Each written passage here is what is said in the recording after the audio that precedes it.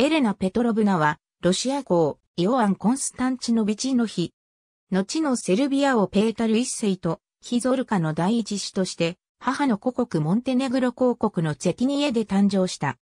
セルビア語名は、イエレナ・カラジョルジェビチ。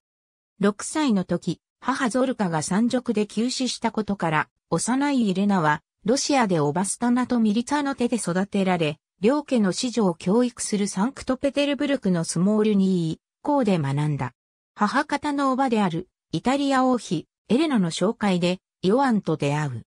物静かな青年で、正教会の修道士になると思われていたイオアンが、イエレナに結婚を申し込んだことは、周囲を驚かせた。1911年に二人は結婚し、ロシア語名、エレナ・ペトロブナを名乗るようになった。フセボロドとエカテリーナの二子を設けた。ロシア革命の発生、そして夫ヨアンがボリシェビキに逮捕され、エレナは夫の釈放を請願して奔走した。エカテリンブルク、シベリアへと移送されたヨアンは、1918年7月18日、エリザベータ・フヨードロブナ大公妃、セルゲイ・ミハイロビチ大公らと共に、アラパイフスクで処刑された。ヨアンの実母エリザベータ・マブリキエブナ、そしてフセフェロドとエカテリーナを連れて逃亡しようとしたエレナはエカテリンブルクで逮捕され、ペルミで投獄された。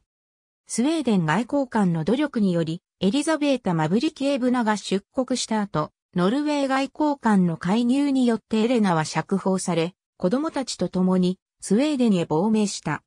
その後エレナはフランスへ移り、1962年にニーズで没した。ありがとうございます。